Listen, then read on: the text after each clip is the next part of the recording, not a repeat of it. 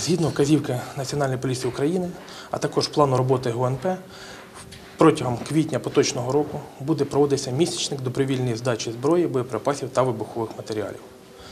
В цей період громадяни звільняються від відповідальності за її незаконне зберігання. Ця операція проводиться для е, максимального вилучення з незаконного обігу зброї, бойових припасів та вибухових матеріалів.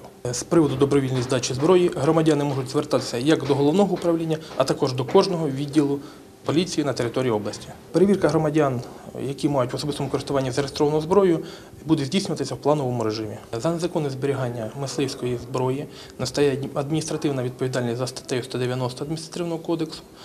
Е, За зберігання зброї армійських зразків настане відповідальність кримінальна за статтею 263 Кримінального кодексу України. За минулий місячник було здано більше 300 одиниць вогнепальної зброї, з яких 38 одиниць військових зразків. А також на те, що треба звернути увагу, це 16 гранат, 9 мін та 10 запалів. Близько 80 чоловік звільнено від кримінальної відповідальності. Шановні громадяни, здавши зброю, яка незаконно зберігається, чи повідомивши інформацію про її зберігання, ви можете зберегти чиє-то життя.